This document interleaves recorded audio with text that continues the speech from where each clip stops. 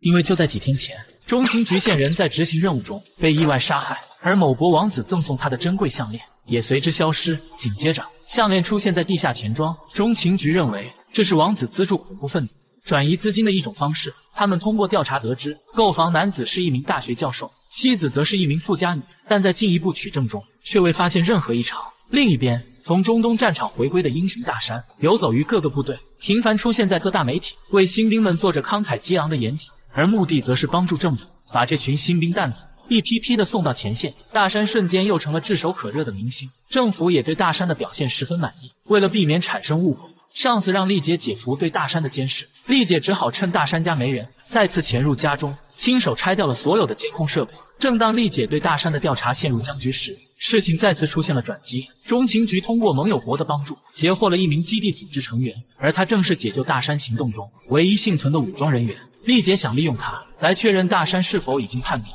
可中情局领导却认为，让一个基地组织成员去指控当下炙手可热的国民英雄，简直是荒谬至极。他们认为，让大山一起加入审讯，快速找到基地组织转移资金的方式，和你袭击美国本土的目标更为实际。于是，大山被请到了审讯室。当他看到画面中的人时，眼神中充满了愤怒，嘴上不停地问候对方的家人。原来，这个人正是他被俘期间看守他的人员之一。大山被囚禁这八年。受到的非人折磨，这个人绝对脱不了干系。简单的审讯对于恐怖分子没有任何效果，因此中情局必须采用些特殊手段。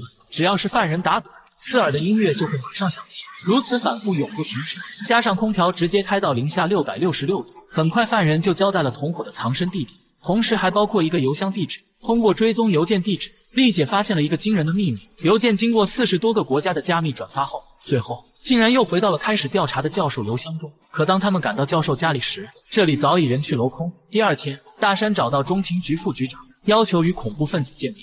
副局长本想拒绝，但大山却给了他一个无法拒绝的理由。作为一个国家英雄，在战争中饱受创伤，他必须直面曾经虐待自己的仇人，以消除那八年囚徒生活对他精神和身体的双重打击。他们来到审讯室，当恐怖分子看到大山时，脸上的表情瞬间凝固。仇人见面分外眼红。大山直接揪起仇人摔在地上，安保赶紧上前阻止。看着激动的大山，中情局领导只好结束这场探视。可就在大山离开后不久，恐怖分子竟然在审讯室自杀，工具则是一个剃须刀片。对于这种级别的犯人，关押前搜身低于五十次都属于重大工作失误。他根本不可能把刀片带进审讯室，唯一的可能就是有人把刀片给他。得到消息的丽姐赶紧找到上司，反复查看大山进入审讯室的监控。可他们扭打的地方。却正好在监控死角，没有任何证据证明大山提供了刀片，丽姐只好无功而返。可就在她离开后，上司却看着犯人的尸体，嘴里念念有词，似乎在说着某种祷告词。为了找出给他提供凶器的人，所有与他接触的人都要进行测谎，而大山则是嫌疑最大的一个，因为丽姐始终认为他已经被基地组织策反，但碍于大山国民英雄的身份，政府不可能允许他这么做。恰好大山卷入了这次事件中。这可是千载难逢的好机会。丽姐紧紧地盯着屏幕，可让她意外的是，前面的测试大山竟然都顺利通过，仪器上没有任何的波动。不甘心的丽姐竟然让测试员询问大山是否背叛过自己的妻子，大山给出了否定的回答，测谎仪仍显示正常。这彻底惊呆了丽姐，因为就在昨天，他还和大山打了一夜的扑克。大山明显是在撒谎，但有史以来没人能躲过中情局测谎仪的检测。他到底经历了什么，让他的内心变得如此强大？测试结束后，大山找到丽姐，二人来到酒吧。同样有着中东经历的两人，跟昨天一样，再次找到了共同语言。酒过三巡，菜过五味后，他们再次来到丽姐家。可就在第二天起床时，丽姐却无意中说出了大山最爱喝的茶。大山突然明白，丽姐一直在监视着自己。正经历着婚姻危机的大山，本以为找到了红颜知己，却没想到丽姐是另有目的。为了洗清嫌疑，大山答应解开丽姐心中所有的疑。可丽姐的第一个提问就让大山十分意外。Who's Isa？原来就在昨晚，大山熟睡后，嘴里不停的喊着这个名字。大山表示，这是他被囚禁期间的一名看守，对他非常的友好，因此大山一直心存感激。同时，大山还告诉丽姐，长期的囚禁生活让他皈依了伊斯兰教，自己是虔诚的信徒，这也是支撑他活下去的力量。手上不自主的动作，就是长期拨弄念珠导致的。而更让人意外的是，大山竟主动承认之前撒谎。他在被俘期间曾经见到过基地组织头目，因为他的出现让大山的生活变得舒适，因此大山一直很感激他。但大山坚决否认自己被策反。就在这时，丽姐再次提出了一个尖锐的问题：为什么他被解救，而战友沃克却被杀害？大山也终于说出了这个让他愧疚的真相。在基地组织的逼迫下，是他亲手打死了沃克。虽然大山坦诚不公，可丽姐坚定认为他的情报准确无误，肯定有人被策反。看到丽姐怀疑的眼神，大山知道他始终无法得到信任，随即便转身离开。可就在这时，丽姐接到上司的电话，内容却让丽姐目瞪口呆。原来就在昨天，中情局成功抓获了之前逃跑的教授妻子。在他的指认下，中情局已经掌握了被策反士兵的信息，而这个人竟然是被大山亲手打死的沃克。他根本没有死，而且早已偷偷返回美国。知道真相的丽姐赶紧跑出去找大山，本想挽回两人短暂的情感。可大山却只留给丽姐一句话：“Fuck you。”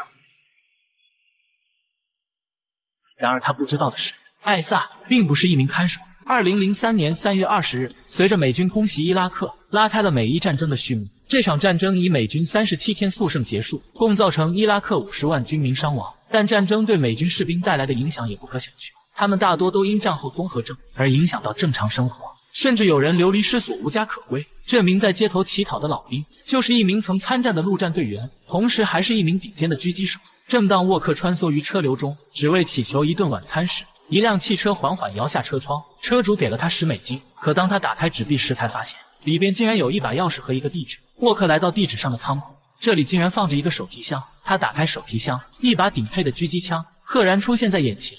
沃克顿时明白，他的使命终于到来。原来，在战争期间，沃克被敌军俘虏，受尽了非人的折磨。最终，他被敌军策反，并被秘密遣送回美国，目的就是随时等待召唤展开行动。但对妻儿的思念始终是他最大的牵绊。他会不时的打电话给家里，只是静静的听着电话那头妻子的声音。然而这天却出现了意外，中情局早就监听了家里的电话。通过追踪，中情局很快锁定了沃克。意识到危险的沃克赶紧逃跑，他闯进一家清真寺，抓捕队也紧随其后。可刚一进门，两名不明身份人员便出现，抓捕队果断开枪击毙两人。可这却让他们惹了不小的麻烦。原来这两人只是做成败的普通百姓。第二天，示威群众就堵满了整条街。通过沃克逃跑的路线，丽姐判断他对这里一定很熟悉。他们找到教主，希望得到线索。可教主对于信徒被无辜射杀耿耿于怀，根本不愿意配合。就在丽姐离开后不久，教主夫人却打来电话，胳膊始终拧不过大腿。为了保住丈夫辛苦建立的基业，她只好告诉了丽姐真相。最近这几天，沃克频繁在这里出现，和一个人进行联系，而这个人正是之前给沃克美金的沙特大使。在对大使的调查中，中情局发现他有巨大的资金亏空，但却在短期内全部还清，甚至还发现了他同性恋的癖好。但大使具有外交豁免权，中情局也无法随意调查，因此他们找到大使的资产管理公司，以资产管理为由把他骗出大使馆，试图用曝光性取向来威胁他。可大使根本不为所动。就在这时，丽姐急中生智，说出了一个让他乖乖配合的理由，那就是自己女儿的前途命运。在这种威胁下，大使只好又回到了谈判桌。他是通过一名中间人为沃克传递情报，从而获得丰厚的报酬。每次家里贴好窗花，第二天中午，沃克就会准时出现在广场。就在中情局布控好后，一名可疑人员就拎着手提箱径直向大使走去，但因为距离太远，根本无法确认嫌疑人身份。丽姐赶紧向嫌疑人靠拢。当看清嫌疑人时，丽姐才发现这并不是沃克，而广场边的楼里，沃克正紧紧地盯着大使，按下了手中的引爆器。随着一声巨响，广场顿时陷入一片恐慌。另一边，刚从超市出来的大山却被打晕。等他再次醒来时，发现自己躺在一间屋子。边上还放着一个电视屏幕。不久后，基地组织头目竟然出现在屏幕中。他们聊起了之前的过往。美伊战争以美国压倒性胜利告终，美军以一百三十九人阵亡的代价，造成了伊拉克五十万军民的伤亡。但战后，美国在伊驻军期间，却遭到了当地武装组织的疯狂反扑。几年内，美军死亡人数骤增到九千二百七十二人，更是有大量的美军被武装组织俘获。这名被俘的美军士兵已经被关在这里整整五年，与世隔绝的生活让他的精神几近崩溃。而就在这天，他的命运却出现了转机。当头套被摘下时，一个眼镜男站在他面前，而他就是基地组织的头目阿布。惶恐的大山赶紧起身下床，阿布拿着一把刀，径直走向大山，紧接着割断了绑在他手上的绳索，慢慢的打开浴室门。浴缸中热气腾腾，大山躺进浴缸中，享受着这平凡而又奢侈的瞬间。在收拾齐整后，阿布把他带到了客厅，在这里他见到了艾萨，那个在他回国后一直在梦中呼唤的人，而他正是阿布的儿子。阿布允诺大山，从此后他可以舒适的生活，但条件是要教会艾萨英语。对于入侵自己国家的美国人，艾萨很是抵触。尽管大山各种引诱，艾萨也是避而远之。但一次意外却让艾萨改变了看法。在一次玩耍中，他无意打翻了花瓶。面对着爸爸责备的目光，艾萨胆怯地低着头。就在这时，大山主动承担了责任，这也让艾萨对大山产生了好感。加上长时间的朝夕相处，艾萨慢慢接受了大山。他们一起做晨办，一起读书学习。艾萨把大山当成了最好的朋友，大山也把和儿子年龄相仿的艾萨视如己出。可就在这个阳光明媚的早晨，这种平静的生活被彻底打破。艾萨像往常一样跟大山开了个玩笑，便高高兴兴的去上学。可就在他走后不久，一声巨响把大山拉回到残酷的现实中。这里从未摆脱过战争，他们也根本没有过真正的宁静。大山赶紧跑到学校，可这里已经被夷为平地，到处散落着孩子们的尸体。由美国无人机发起的这次攻击，共造成了八十二名孩子死亡。而艾萨也未能幸免。大山抱着艾萨的尸体伤心欲绝。可美政府不但不承认此次误伤事件，甚至还宣扬成功摧毁了武装组织基地。之后更是把所有资料全部销毁。因为下令发动这次袭击的正是美国的副总统，而他为了要竞选总统职位，怎么可能让这件丑事公之于众？艾萨的死让大山彻底放下了一名士兵的忠诚，他决定要为艾萨报仇。于是阿布故意放出情报，让美军成功解救大山。被解救回国的大山。顺理成章的成为国民英雄，到处做着演讲，提升影响力。而这些只是他们复仇计划的开始。正当大山苦苦寻找复仇机会时，没想到副总统竟然主动送上门。因为准备竞选总统的他，如果能够得到国民英雄的支持，无疑是一个重磅的砝码。因此，他建议大山参选议员，同时邀请他参加即将举行的竞选发布会。而发布会上将聚集着所有的政府高官，这无疑是一次绝好的复仇机会。这里正在举行总统竞选，可不远处，一名狙击手却早已埋伏多时。受邀参加活动的大山看了一眼安保措施，却若有所思。原来他此行的目的可不仅仅是参加竞选活动，而是要把正要们一窝端。临行前，他早已穿好了炸弹背心。正当大山苦于无法通过安保时，突然。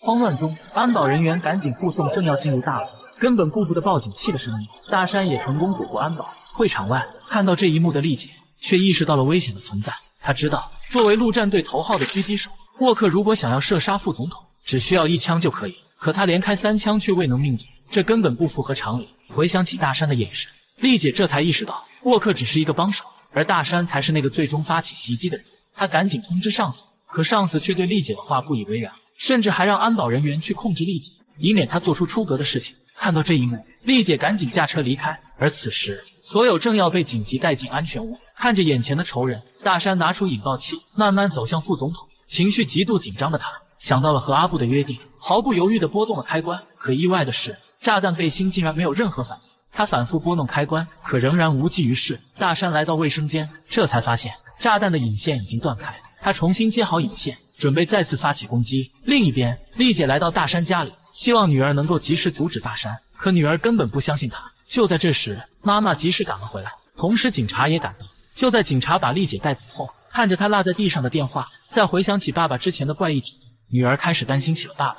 大山再次走回安全屋，屏气凝神。就在他想按下引爆器时，突然安保人员却叫住他。原来是女儿打来电话。虽然女儿复述了丽姐的话。可她坚信爸爸不可能是恐怖分子。她告诉大山自己在家里等他回来。听着女儿的话，大山的眼中满是不舍。就在这时，危险被解除，所有人被带离安全屋，大山也只好放弃行动。可深夜里，他却独自来到桥洞下，在这里等着他的正是狙击手沃克。沃克把电话交给大山，电话那边正是基地组织头目阿布。可意外的是，就当大山和阿布通话后，他竟然毫不犹豫地击毙了沃克。原来，因为行动失败，阿布已经不再相信大山。击杀沃克正是他表决心的方式。大山认为他完全可以竞选议员，从而潜伏在美国最高领导层，伺机发起针对总统更大规模的袭击活动。电视上正在播放以色列空袭伊朗核设施的新闻，可作为中情局特工的丽姐却只顾着打理菜园，根本提不起任何的兴趣。原来就在几天前，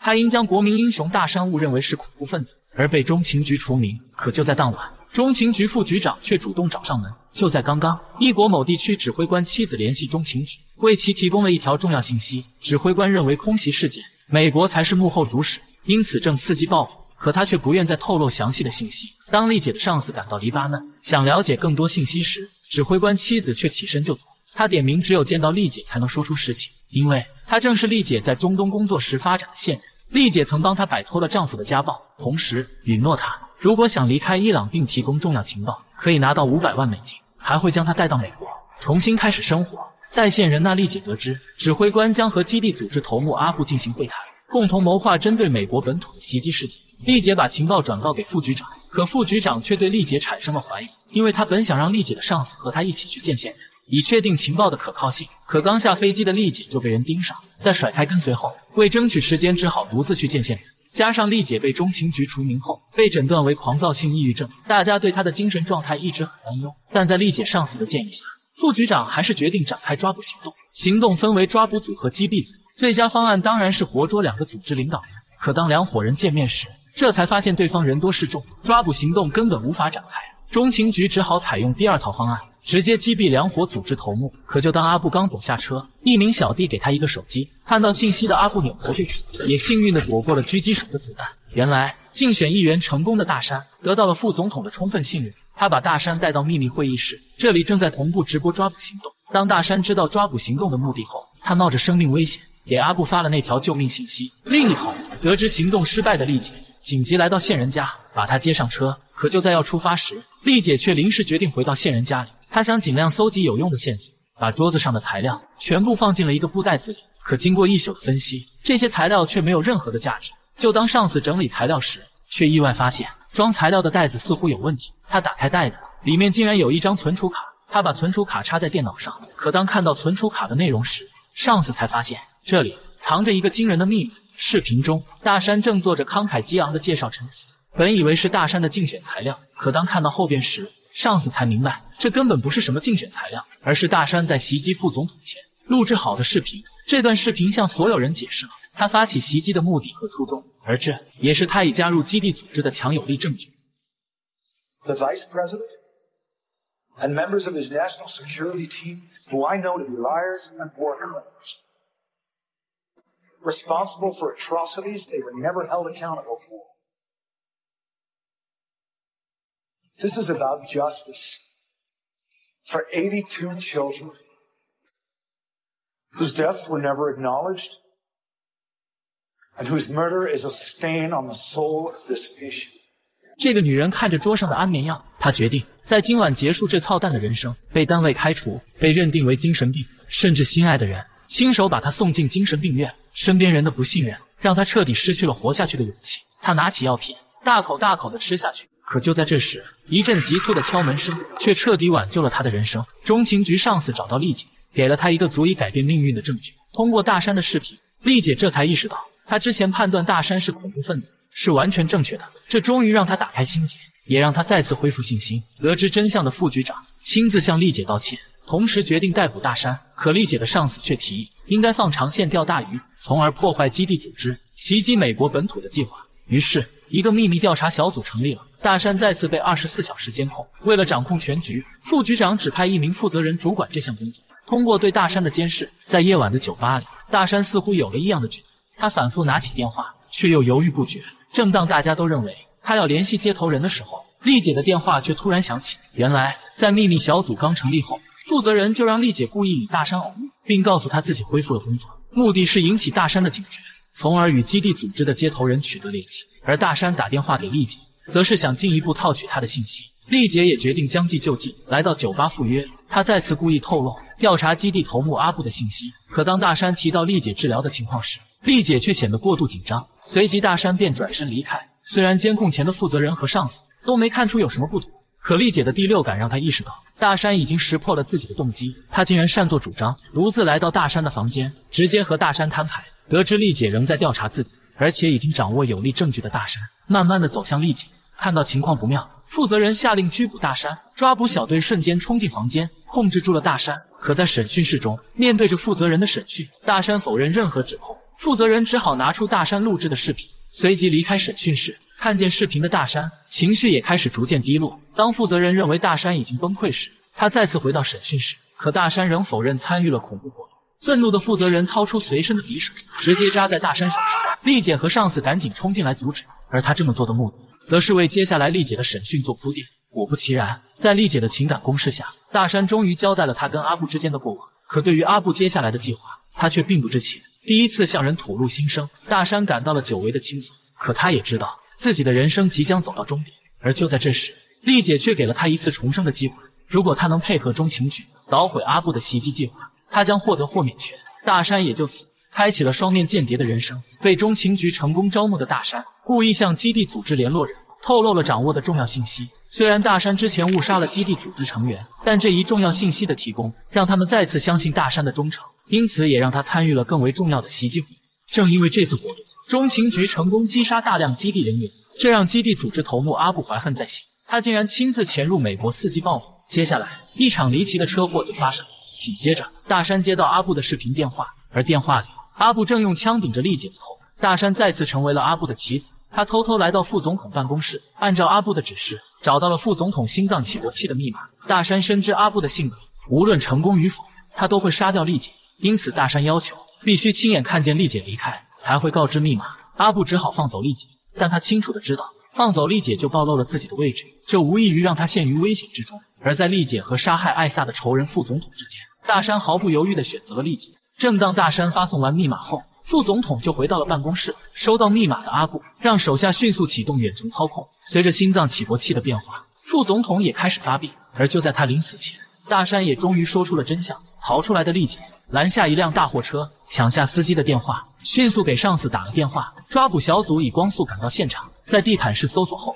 终于在一间地下室中发现了阿布，而他似乎早已预料到结果，静静的等在那里。正当他准备掏枪自尽时，抓捕队迅速开枪将其击杀。因为大山的冒死营救，让丽姐和大山的感情迅速回温。他们再次来到爱的小木屋，可就当丽姐去买早餐时，一把狙击枪却偷偷的瞄准了大山。原来，在阿布被击毙后，中情局副局长认为大山在没有利用价值。他不但想收回豁免权，甚至还派行动小队负责人暗杀大山。而他这么做，并非为国家安全着想，而是为了杀人灭口。因为只有大山知道，他是和副总统一起发起无人机空袭伊拉克学校，造成八十二名无辜孩子身亡的罪魁祸首。得知真相的负责人不但没有杀大山，反而来到副局长家，警告他远离大山。获得豁免权的大山本以为一切都已经结束，他决定和丽姐开始新的生活。可就在副总统的葬礼上，中情局大楼总部。副局长致告别辞的时候，大山和丽姐来到其他房间，却意外发现自己的车被人从停车场开到了中情局楼下。紧接着，中情局总部大楼被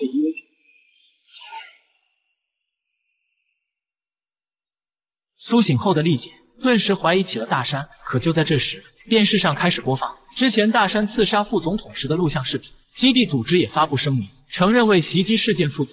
大山这才明白。阿布的死是刻意为之，他让所有人都放下了警惕，从而完成对整个中情局的团灭。而在他临死时，还不忘让大山背负上恐怖分子之名。就算他浑身是嘴，也解释不清。得知真相的丽姐帮助大山制作了假身份，紧急逃离美国。而整个中情局只剩下大难不死的丽姐。国会成立了调查委员会，对中情局幸存人员展开调查。为了稳固中情局的地位，丽姐在审查过程中竭尽全力保护中情局仅有的尊严。可委员会主席却认为，这次袭击活动完全是中情局失误造成的。委员会认为，中情局在明知大山被策反的情况下，还选择与其合作，是造成这场事故的主要原因。同时，补充了新鲜血液的中情局也在加快查找本次袭击的幕后主使。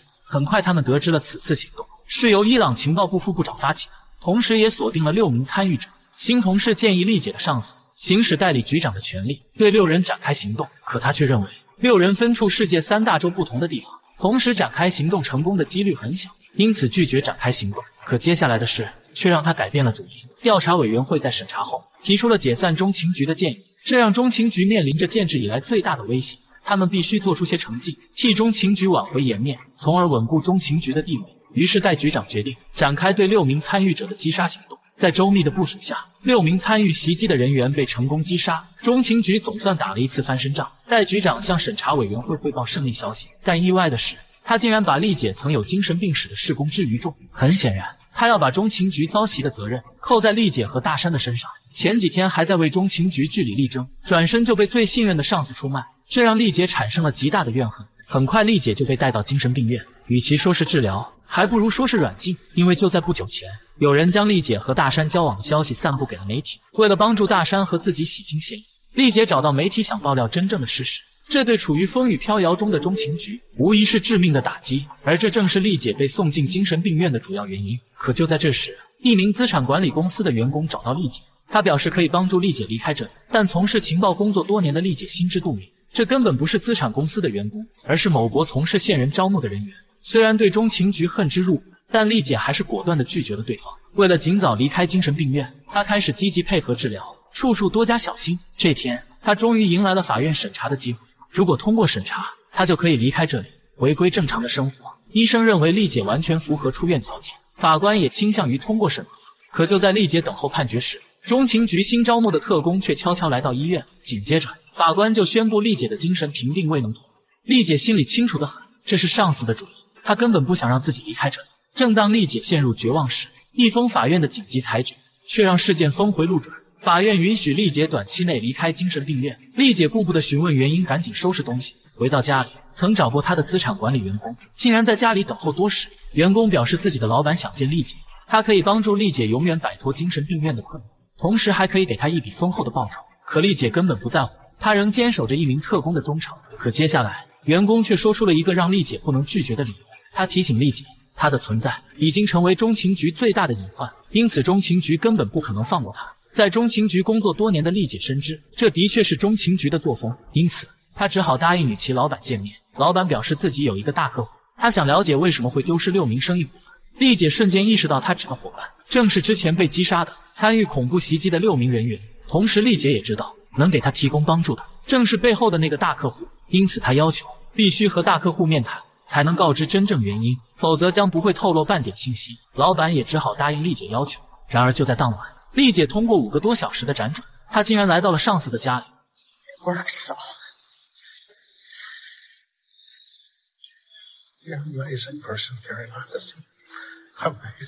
女人正准备睡觉，突然两名歹徒冲进屋里，还没等女人反应过来，两人已经来到身边。女人的眼中充满恐惧。果不其然，歹徒让她脱掉衣服。在面临死亡威胁的情况下，女人只好照做。可意外的是，歹徒并没有像你想的那样，而是拿出金属探测仪，在她身上来回的检查。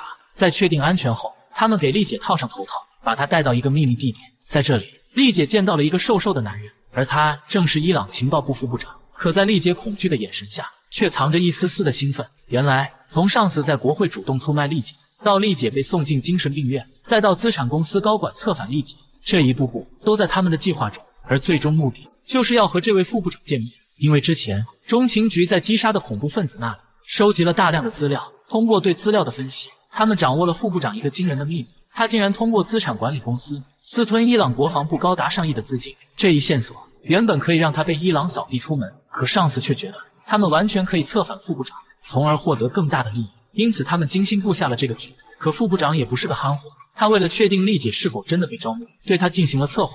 所有测谎的结果都显示，丽姐没有一句真话。可丽姐也并不担心，她抛出了致命的杀手锏。副部长也是个硬茬子，他知道被敌人掌握了把柄，横竖都是死，根本不愿意配合。可就在他和丽姐上司谈话后，却决定返回伊朗。成为中情局的一名线人，就在他离开前，告诉了丽姐一个天大的好消息：大山并没有参与恐怖袭击，放置炸弹炸掉中情局的另有其人，而这个人现在还在美国。回到中情局的上司正在为成功招募副部长而高兴时，却得到了一个坏消息：原本应该自己接替的局长职位，竟然被审核委员会主席接替，两周后就会上任。而更令人气愤的是，在主席知道招募计划后，竟然把事情捅到了总统那里。上司以主席未接替局长为由将其支走。之后更是提出了一个大胆的计划，他要通过刺杀伊朗情报部长，从而使招募的副部长升职，进入伊朗最高领导层，而这也是副部长同意被策反的主要原因。同时，美国也可以了解伊朗核设施的最新进展。从而左右伊朗政府的决策方向。另一方面，丽姐为了替大山洗清嫌疑，锁定了放置炸弹的人。可就在监视过程中，丽姐发现嫌疑人即将被灭口，她赶紧下车保护嫌疑人。但如果她这么做，就会暴露了策反副部长的事情。在紧急情况下，中情局只好下令击倒丽姐。受伤的丽姐口吐芬芳，因为她知道，如果上司在这，可能是另外一种结果。而这时，上司已经悄悄来到了委内瑞拉，在一个封闭的牢房中，他再次见到了大山。每年发生在世界各地的偷渡事件数以万计，仅我国在二零二一年查获的就有四点七万人，而每年因偷渡死亡的人数更是令人毛骨悚然。可仍然有人甘愿铤而走险，这几个人就准备在天黑后从伊拉克边境进入伊朗。可就在天刚见黑时，一支伊拉克巡逻队就发现了，在巡逻队的火力压制下。偷渡者寸步难行，眼看着巡逻队步步逼近，他们只能硬着头皮跑向边境线。在巡逻队的穷追不舍下，他们再次被困在大石头后。队友示意开枪掩护，让大山继续前行。正当他们准备行动时，突然四周灯光亮起，一伙武装人员已经把他们包围了。可通过对话，大山得知他们并不是伊拉克人，而是伊朗的边防军。原来他们在刚才的逃跑中已经越过了边境线。大山赶紧表明自己的身份，是美国中情局爆炸案的主谋，并寻求政治庇护。很快，他们就被带到了审讯室，而负责审判他们的正是被中情局招募的线人——伊朗情报部副部长。还没等大山开口，副部长直接掏出击毙了队友。愤怒的大山冲向副部长，可也无可奈何。而副部长这么做，竟然是为了保护大山。原来，副部长早已知道大山此行的目的是刺杀情报部长，从而让他取代部长的位置，作为美军陆战队员，却亲手炸毁美国中情局。副部长以此为借口，向部长透露大山拥有巨大的宣传价值。可部长却对大山心存疑虑，副部长借机建议他可以亲自审问，而目的则是给大山制造机会。为了确定大山是否真的寻求庇护，部长决定亲自审问大山，可地点却定在一座民房旁边。大山一步步走向部长，隐蔽地拿出副部长给他的氰化物。可就在要接近部长时，他却直接上车离开。紧接着，大山被带进民宅中，在这里，他竟然见到了阿布的遗孀，而部长的意图。则是让阿布的遗孀审问大山，因为他们在伊拉克期间曾共同生活了三年。通过他的确认，让大山得到了信任。当大山再次走出房间时，他被整个伊朗的国民视为英雄。同时，大山也成为了伊朗政府的宣传工具，开始到处帮助伊朗政府做宣传。可这也引起了派他前往伊朗参与刺杀行动的中情局的担忧。他们担心大山在获得优待后叛变，从而将副部长已经被策反的事情揭穿。为了保护副部长这颗重要棋子。中情局在新任局长的组织下，竟然想干掉大山。幸亏丽姐及时通知他，才让他躲过一劫。知道真相的大山彻底愤怒，他告诉看守，自己有关于副部长的重要情报要向部长汇报。在部长办公室里，大山将所有的事情和盘托出。得知真相的部长也对大山另眼相看。可就在这时，大山突然拿起桌子上的烟灰缸，直接将部长砸晕，随后找来靠垫，成功的完成了任务。中情局在得知大山顺利完成任务后，赶紧组织营救小队。准备带大山逃离伊朗，丽姐将大山带到安全屋，等待救援队的到来。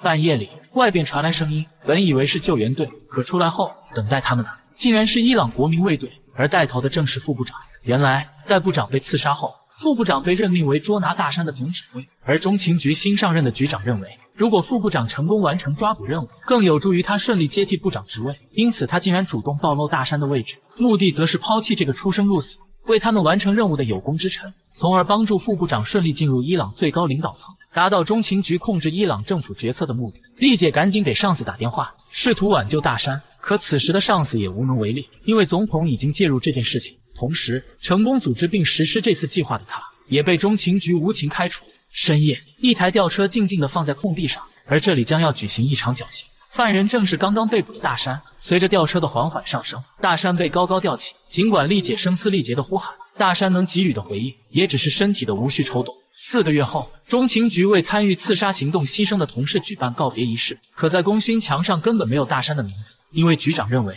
他并不是中情局的工作人员。他所有的付出虽然大家心知肚明，可这却不能被摆在明面上。仪式结束后，丽姐缓缓地走向功勋墙，在上面偷偷地加上了那颗属于大山的荣誉之星。随着2021年美国仓皇撤离阿富汗，这场耗资2.2万亿美元、美国历史上时间最长的战争也宣告结束。同时，美军在阿期间众多不为人知的事实也慢慢展现在世人面前。2015年，美国决定签署撤军协议前，美国驻巴基斯坦情报部长获得一条重要线索：处于暗杀名单中的一名基地领导，目前正在巴阿边界的民房中。他请求阿富汗站长立即调集武装战机实施攻击计划。可就在袭击后不久，一条视频就在社交媒体广泛流传。原来，在轰炸时，那里正在举行一场婚礼，而这次攻击造成了。四十多名平民身亡。阿亚是这次袭击中唯一的幸存者，而那段视频正是他录制的。袭击事件发生后，美国驻巴基斯坦大使馆却没给出任何的解释。愤怒的巴基斯坦群众把大使馆围得水泄不通，这让美国中情局陷入十分尴尬的境地。局长让丽姐立即飞往巴基斯坦，向巴基斯坦大使解释原因。可丽姐刚下飞机，电视上就开始播报消息：巴基斯坦站长的身份被暴露。愤怒的巴基斯坦人民全国搜索这个罪魁祸首。丽姐和大奎赶紧去救人，可刚把站长接上车，就被人们团团围住。虽然大奎接连开枪，可还是无法熄灭众人的怒火。站长被众人拉出车外，活活打死。眼看救援无望，大奎只好驾车离开。这场事故后，丽姐被召回中情局，局长以工作失职为由，拒绝让她担任阿富汗站长。可在大奎的提示下，丽姐在一名巴基斯坦情报人员那里得知，其实局长早就知道站长信息被泄露的事情，可他却未采取任何行动。丽姐以此作为要挟，成功来到巴基斯坦担任站长。就在丽姐离开后不久，大奎就发现了一条重要线索：在袭击发生时，一名可疑人员出现在事发现场。看到视频的丽姐意识到。站长的死并不是意外，而是一场精心的谋划。因为这个可疑人员长期受雇于巴基斯坦情报部门，丽姐赶紧对他实施监控。就在这时，幸存者阿亚却突然找到丽姐。原来，在袭击发生后，电视台曾专访过阿亚，可他却不愿多说一句。通过这段视频，丽姐判定阿亚一定知道一些有用的线索，因此她找到阿亚，答应他，如果提供可靠信息，不但会获得丰厚的回报，还会带他前往英国安家。而阿亚这次找到丽姐，也确实是有所求。眼下他急需一笔资金，丽姐毫不犹豫地答应他。可紧接着就派手下跟踪阿亚。阿亚来到医学院，购买了一批药品后迅速离开。接下来，阿亚来到一处地点，和一个人紧紧抱在一起，而这个人正是他的叔叔，也是袭击计划中美国要暗杀的基地组织领导人。美阿战争期间，在美国压倒性的进攻中，塔利班政权迅速瓦解。为保留一线生机，塔利班回撤到巴阿边界，成为这个地区的实际控制人。但是，凡要进入该区域的人员，都会经过政府军的严格检查。面对着政府军的巡查，阿亚显得十分紧张，因为他此行的目的是找自己的叔叔，基地组织的四号人物。政府军反复查看阿亚的假护照，而此时监控中的美中情局比阿亚还要紧张百倍，因为他们付出了太多的代价才得到阿亚这条线索。他们想在阿亚和叔叔见面时使用无人机完成暗杀行动。政府军把阿亚叫到旁边，可还没等政府军盘问，阿亚就拿出身上所有的纸条。果不其然，有钱能使磨推鬼。阿亚顺利过关后，通过电话联系了自己的叔叔。紧接着，他来到约定地点，一伙武装人员找到阿亚，把他带到了一处空地。在焦急的等待中，四号人物终于出现。中情局赶紧确认身份，可正当要攻击时，意外却发生了。一名被抓获的美国人从车上被带下来，而他正是丽姐的上司，美国中情局前任局长。原来，前局长卸任后。加入了一家跨国公司，他此次来巴的目的是为了开展业务，可在离开时却被塔利班在机场抓获。但在严格的安保措施下，塔利班根本不可能进入机场，这也让丽姐更加确定自己的判断：八国官方有可能卷入了这次事件中。前局长被抓，让中情局陷入十分被动的局面，而基地组织早已知道阿亚被利用，等待着他的只有死亡。看着辛苦培养的线人被杀，丽姐激进疯狂，她下令发起攻击，可大奎赶紧制止，因为如果这样做。前局长也性命难保，有了前局长的保护，四号人物就像有了护身符。他竟然离开控制区域，大摇大摆地回到了自己的家中。由于美国发起的战争，当地居民给反围者以英雄般的待遇。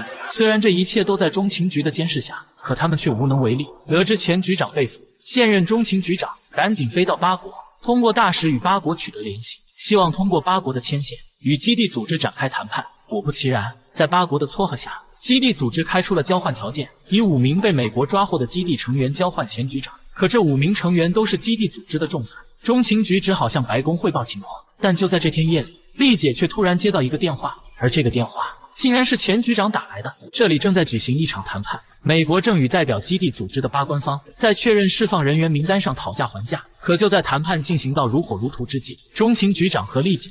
却突然离开谈判桌，转身来到作战指挥室，因为这里正在开展营救行动。就在昨晚，前局长制造自杀的假象，趁看守留神时将他搅晕，顺利逃出了关押点。经过一夜的逃跑，他来到了一座小镇中，在丽姐的指引下，他来到线人家中。对于基地组织来说，在这么大的地区搜索他，简直是大海捞针。当大家以为安全时，街上却出现了大批基地成员。丽姐这才意识到，他们的救援行动早就被八官方知晓，而基地组织的到来也一定与八官方有关。他赶紧指挥前局长离开，可就在丽姐的指挥下，前局长却一头撞进了敌人的包围圈。他声嘶力竭地问候丽姐家人，因为他知道这是丽姐刻意为之。原来就在刚刚，为了不让自己成为基地组织的筹码，他宁可自杀殉国。虽然在丽姐的劝说下，他放弃了这个念头，可丽姐太了解他了。如果在明知被抓的情况下，他仍然会选择自杀。眼看突围无望，丽姐只好主动把他交给基地组织，这样还能通过谈判为他保留一线生机。再次回到谈判桌上，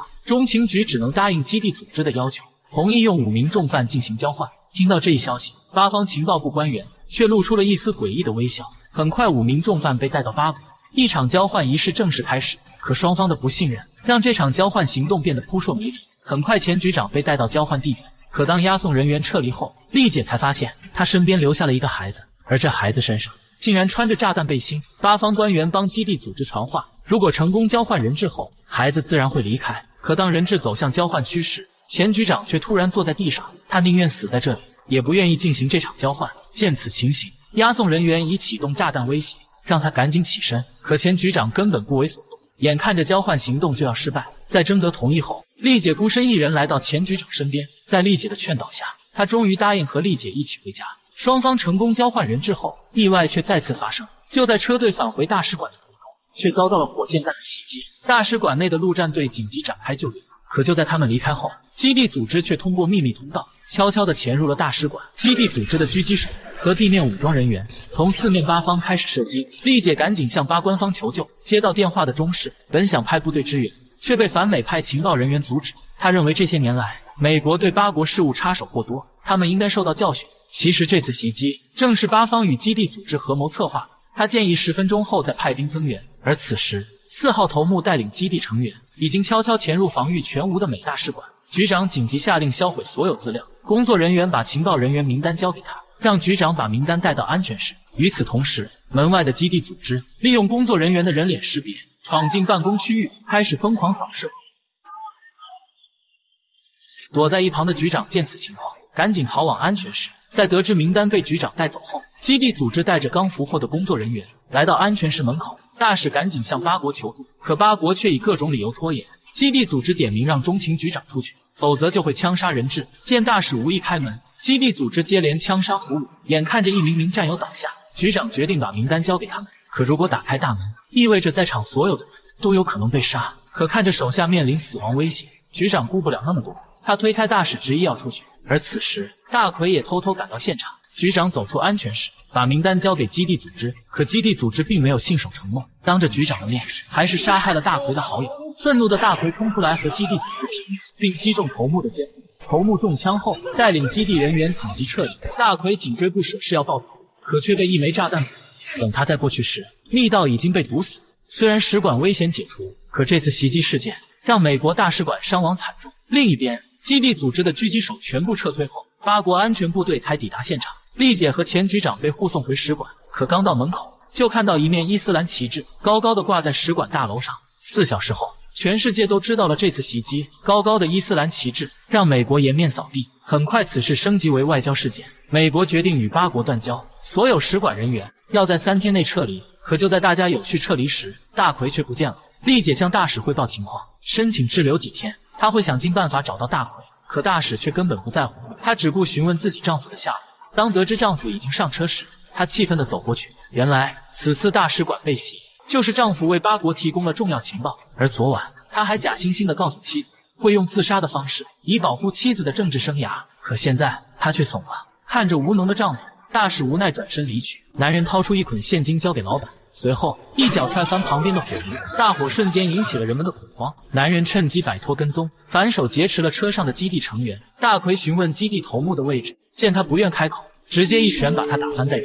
在他身上，大奎发现了和其他成员一样的手机。他来到德国情报员的前女友家，让他通过手机串码。寻找同一批手机的位置，调查结果显示，有大批的手机定位在一处民房中。大奎意识到受伤的头目就在这里养伤，可他也清楚自己硬闯进去报仇，肯定是死路一条。于是他想寻求帮助，可刚来到停车场，丽姐就已经等候多时。虽然丽姐苦口婆心劝说，可大奎心意已决，不杀掉基地头目誓不罢休。眼看劝说不起作用，丽姐只好让手下强行带走他。可长期参与特别行动的大奎根本没把他俩放在眼里，三两下就解决了问题。丽姐也只能眼睁睁地看着大奎离开。他找到阿亚的女友，把阿亚被头目枪杀的视频交给他。得知阿亚的死讯，女友悲痛欲绝，他决定要为阿亚讨回公道。不久后，这段视频就出现在网络上，事情被迅速发酵。阿亚的女友组织了大批学生，在头目藏匿的民宅举行示威活动，而大奎也举着阿亚的照片混在游行队伍中。可由于成功袭击了美大视频。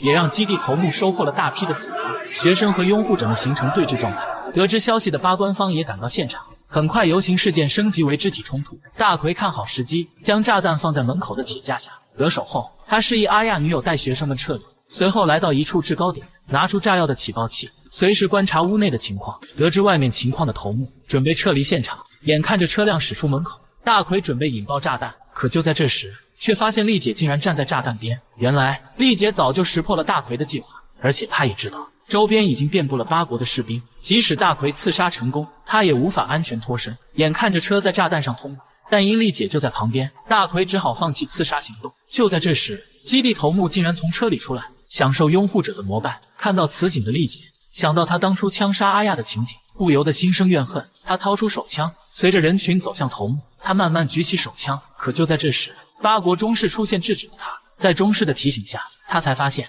美国中情局的顾问竟然坐在头目的车里。因大使馆遭遇致命打击，中情局长被迫辞职。政府官员建议前局长再次接任，可由于被基地组织俘获，那段录制的视频一直是他的污点。可就在他准备放弃时，顾问却找到了前局长，他交给前局长一张存储卡，而这正是那段视频的唯一备份。原来他和基地组织达成协议，把四号头目从追杀名单中去除。从而才得到了这份视频，这也为前局长赴任扫清了障碍。另一边，回到家的丽姐却突遇父亲去世，在处理好父亲的丧事后，看着自己与大山的女儿，她决定放下过去的执念，远离中情局，开始新的生活。在德国的一个地下直播公司中，网站技术员通过昏暗的走廊来到机房控制室，他把 U 盘交给邵东家，里边是一段极端招募组织的恶搞视频。紧接着，技术员入侵极端招募组织网站，将视频上传到首页。正当他们欣赏着自己杰作的时候，一条地址追踪信息让他们瞬间紧张起来。邵东家怕地下产业曝光，让技术员赶紧退出。可一高胆大的程序员却非要和对方比个高下，他立即展开反追踪，但却无法查询到对方的 IP 地址，这更是激起了程序员的好奇心。他关闭掉所有的直播，集中全部服务器的算力，准备暴力破解未知服务器。这一方法果然有效。瞬间进入了对方的服务器，可当他们看到屏幕上带有“中情局”字样的绝密文件时，才意识到自己闯了大祸。而此时，美中情局柏林站管理员也发现被入侵，紧急关闭服务器电源。可为时已晚，一千三百六十一份绝密文件已经被下载。得知这一消息，欧洲部部长赶紧来到柏林站，站长向其汇报情况。泄露的文件中包括美国帮助德国绕过本国监控法。监控恐怖分子的机密文件，在得知文件还未被公开后，部长下令大奎紧急铲除在德国的恐怖分子。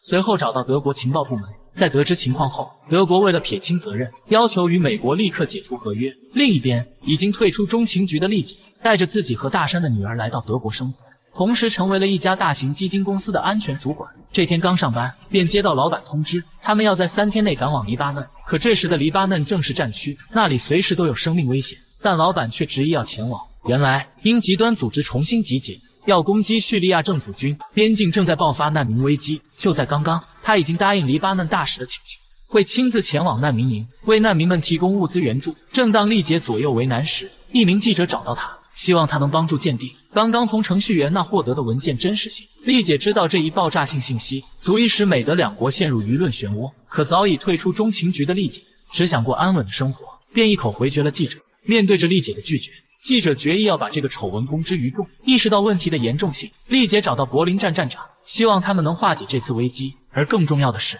想从他那获得中东地区的情报，以确保老板的行程安全。可站长却不顾同事之情，以机密为由，果断拒绝了丽姐。丽姐只好动用自己的关系，再次回到中东战场。二零一一年一月二十六日，叙利亚反政府武装举行示威活动，并于三月十五日演变成武装冲突，大量难民涌入黎巴嫩，难民营人数早已不堪重负，数万难民面临生存危机。都灵基金会会长受黎巴嫩大使邀约，为难民提供物资援助，而保证会长安全的重任，自然落到了安全官丽姐身上。难民营的政府军接待了丽姐，可正当他们商讨安全措施时，一名真主党人员却打断了谈话。看到真主党成员的到来，丽姐紧跟了出去，因为她知道难民营中真正的威胁是来自于隐藏的真主党武装力量，而与真主党达成共识才是她此行的真正目的。虽然真主党掌控着整个难民营，但由于涌入的难民鱼龙混杂，丽姐与真主党指挥官达成的协议也只能保证一个小时的安全。基金会会长来到难民营，慷慨激昂地做着发言，可丽姐却保持着高度警惕。眼看着一个小时就要到了，她让助手启动车辆，随时准备离开。就在这时，丽姐发现一名可疑人员走向人群，安保人员让她立刻停下。可疑人员见势不妙，顺手劫持了一名人质。丽姐下令将其击毙，可枪声也引起了更大的恐慌。丽姐保护会长上车离开，可这里却处处透露着诡异，人们好像瞬间蒸发了一样，没有任何人对他们采取行动。多年的中情局工作经验让丽姐意识到，这里肯定有着某种阴谋。她让司机赶紧停车，可司机却根本不理会。丽姐抢过方向盘，迫使车辆停下。就在刚停下后，车辆前方就发生了爆炸。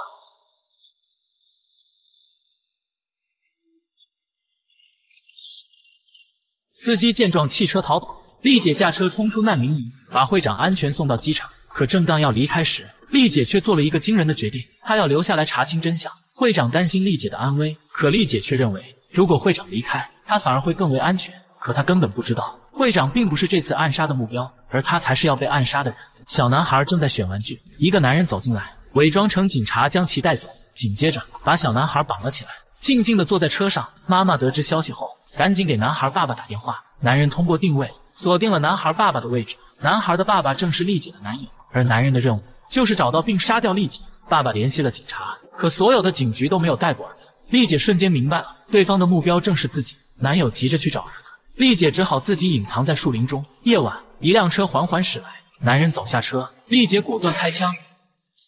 见对方没反应，她一步步走过去，可走到跟前才发现地上根本没有人。突然，一个人从身后出现，勒晕了丽姐，同时还给她注射了一针药物。等丽姐醒来时，发现自己被绑在床上，一个男人朝她走来。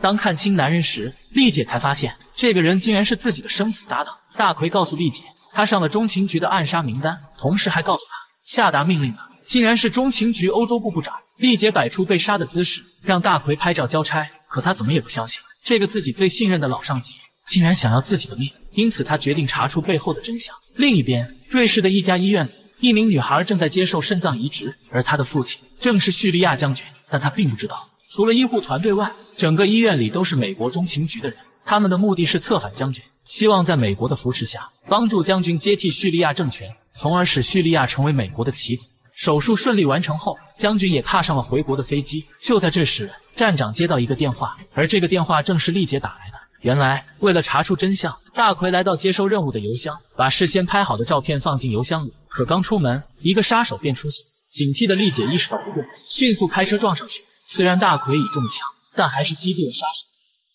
丽姐翻出对方的手机，带大奎迅速离开。在手机中只有一个号码，丽姐试着拨过去，而接电话的正是中情局柏林站站长。就在这时，刚刚起飞的飞机竟然在空中爆炸解体，这也让美中情局策反叙国将军的阴谋失败。不久后，柏林站长提供了一张照片，部长与以国大使有亲密接触，这让顾问坚信部长就是那个出卖情报的人。他开始派人跟踪部长。发现被人跟踪的部长意识到中情局里肯定存在间谍，于是他拷贝了柏林站外泄的资料，让基金会会长交给丽姐，并调查其中原因。通过部长的资料，丽姐发现了一个重大的秘密：一名本应死亡的线人竟然还活着。丽姐调查线人的电脑时，一张屏保引起了她的警觉。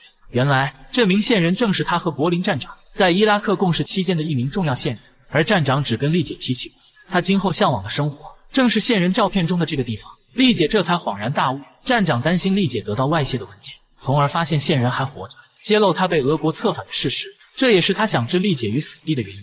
得知真相的中情局开始对站长进行监视，在故意透露给站长引导信息后，让他觉得自己就要暴露，于是联系了俄国情报员。中情局马上出动特种部队展开抓捕。可在审讯室中，站长却反咬一口，他坚定地告诉审讯员，俄国情报人员是他耗费二十年心血培养的中情局线人。这让中情局也无从判断。就在这时，圣战组织发布了一段公开视频，宣称将对柏林发起化武袭击，并播放了一段毒气实验的视频。而视频中的主角正是渗透到圣战组织中的大奎。站长请求阻止这场袭击。在这种危机情况下，长期在柏林工作的站长是不二人选。况且现在还未证明他已被策反，部长也只好同意他的请求，但前提是看守二十四小时跟随。很快，站长找到了为圣战组织提供技术支持的教授，他向看守借来枪，逼问教授说出袭击地点，可转身却击毙了看守，随后又将教授击杀。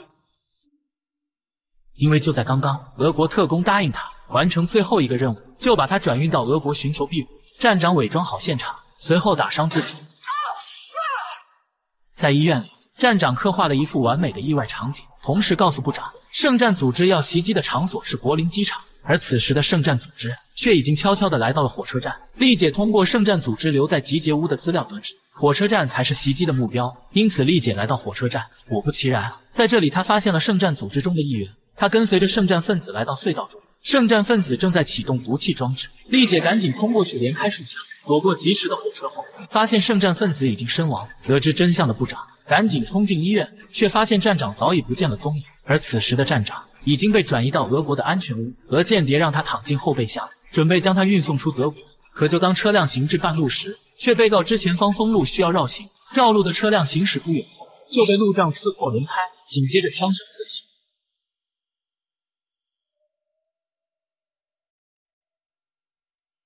汽车瞬间成了马蜂窝，而站长也惨死在后备箱中。